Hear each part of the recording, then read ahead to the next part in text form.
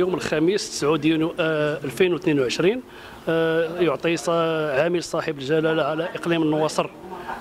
انطلاقة أشغال مشروعين يتعلقان بوحدات وحدتي تكوين وإدماج المهني للشباب في كل من منطقة الزاوية التابعة للجماعه الترابيه النواصر والمكانسه التابعة للجماعة الترابية بوسكورة.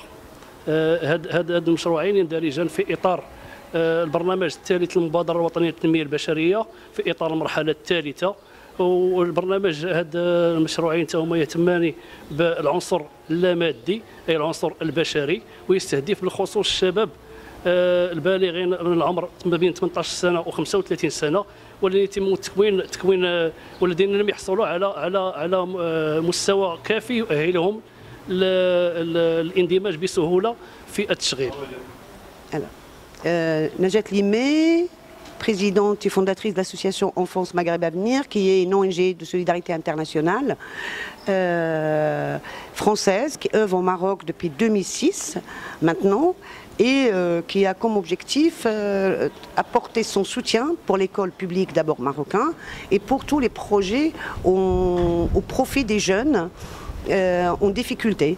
Euh, aujourd'hui, nous lançons les travaux à Zaouia euh, pour faire un centre de formation professionnelle et d'insertion pour les jeunes de 18 ans à 25 ans et que nous souhaitons leur apporter des métiers, leur apprendre un métier pour l'avenir. Pour le deuxième projet euh, et, pour le deuxième projet, le Mkansa, ça va être un petit peu la même chose, puisque aujourd'hui, à Mkansa, on ouvre une unité euh, d'insertion professionnelle, de formation euh, et d'insertion professionnelle pour les jeunes à Bouskoura et qui va un petit peu accueillir 60 jeunes dès le mois d'octobre pour, pour un apprentissage de métier.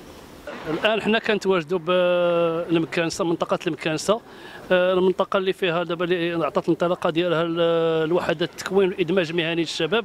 هذا الشباب اللي كيتكون من بعد التخرج ديالو كنوجهوه للمنصه ديال الشباب الادماج ديالو إما سواء من الناحية ديال التشغيل أو في الحس المقاولاتي comme porteur de projet.